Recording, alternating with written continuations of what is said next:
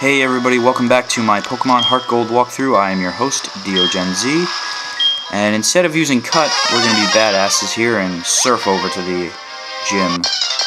Or not. We're going to fight wild Pokemon first. Tentacool!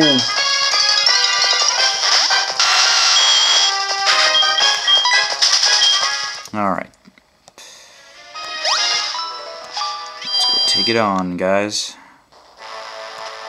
Now, the way that this gym works is that there are switches in these garbage cans here. And in order to get through this gate here, you need to hit the switches. So, nothing in here, nothing in here. And if you battle these people, they'll give you the hint that if you um, find a switch, the switch uh, that turns off the other gate, because you need to turn them off one after another. That will be the gate. Okay, so here's a secret switch. And there will be a switch right next to it, so hopefully it's here. Nope. Alright, so now... when So that just happened, and it locked it up again. Um, so we'll go over here. Yeah, so either it's going to be perpendicular to it, or right above or below it. Nothing in here. I'm trying to avoid battling trainers. Okay. But I guess that can't be helped. I have a feeling that the switch is actually over there by those other trainers. Yeah, so as I mentioned in the previous video, this gym that we're in right now is an electric type, thus the electric fencing. and if you've noticed, all the music has changed. Now it's got its own Kanto-themed battle music which I think is totally awesome. The guys over at Game Freak that did the sounds for this just did an epic, epic job. You know, I mean, they totally did it up for every area. I mean, there were some areas that fell through the cracks as far as sound goes, and I'll explain to you why in later episodes, because right now it's not even going to make a lick of sense. But other than that, I mean, the sound in this game is just top-notch.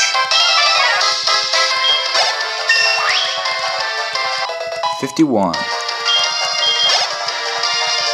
And as you can see, we are now facing, because we have the National Pokedex, and we're not just Johto based, we're seeing Pokemon from other regions like uh, Hoenn region, which is where this Electrike comes from.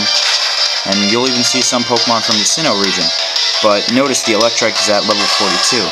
So even though you're taking on gyms, you know, it treats it the game knows that you're only here because you beat the Elite Four, so it's not going to give, it's not going to waste your time with weak people in gym.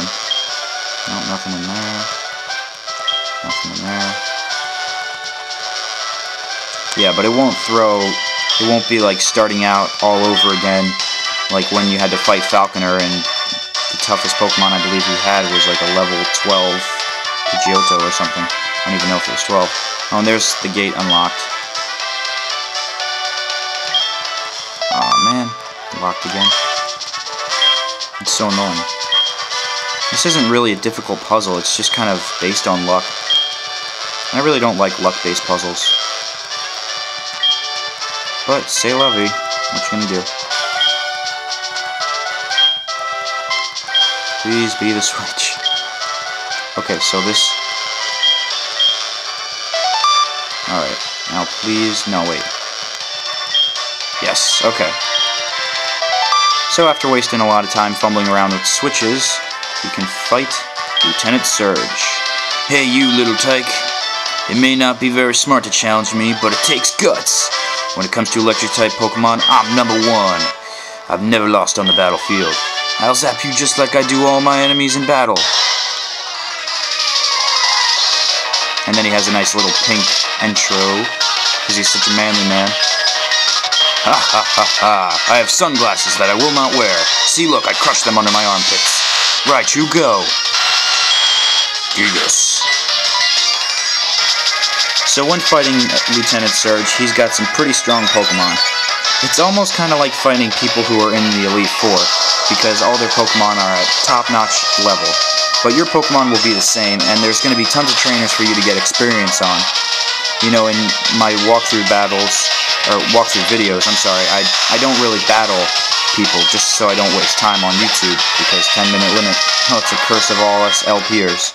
But, um, you know, I highly recommend that you fight all the trainers. You know, fight all the trainers on the boat and fight all the trainers on the, um, in the gyms. You know, fight them on the routes. If I skip them, you know, let it just be a given that you're going to want to get some experience from them.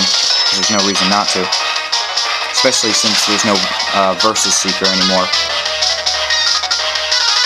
So as you can see here, I'm really not having much trouble with this guy. My biggest recommendation would be just have a ground type Pokemon. Any ground type will do. Now, here we go. Magneton. Even though it looks like it's using Levitate, I, I had a mistake, and uh, I remember I was getting, not really blasted, but people corrected me and said that he only has Sturdy Body, I believe, and Magnet Pull. Those are his only two possible Poke abilities. So even though it looks like he's floating, he's actually not. So thank you guys for correcting me on that, because I am not always right. Electabuzz. This Electabuzz is probably his toughest Pokemon. But for us, it's going to be no problem. Quick attack. I actually did a lot more damage than I thought it would. Oh well. Yeah, but if you have a ground type Pokemon, he won't even be able to unleash his strong electric type moves.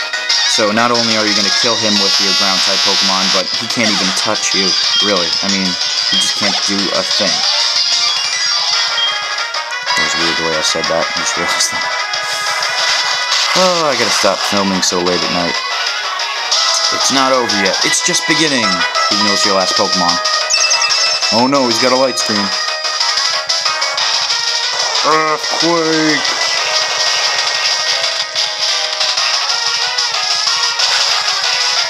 Very nice. Alright. Super duper awesome, guys. Yep. Taken down. Lieutenant Surge. My electric trick. I would love to know what that trick was. But eh, I guess we'll never know. Arg, you are strong. Okay, kid, you get the Thunder Badge. Isn't it so nice in English? I can actually read this stuff. The Thunder Badge suits those who defeated me. Take care. Uh, okay, take good care. Yeah, it's so nice I can read it and botch the translation, or botch the uh, reading to you. Anyway. Shockwave. Zap. Uses lightning. Okay. Alright, so he says that there's a big city called Saffron City up north. So, I suppose that in the next episode of our Pokemon Heart Gold walkthrough here, we will be heading up to Saffron City. But of course we will be attacked by a Pokemon first. And since I have time left, I'm going to leave it running. So, alright, for those of you who don't feel like waiting, I will see you in the next episode. For those who do, well, what you doing, guys? Because there's really not much to watch, and we end it right here.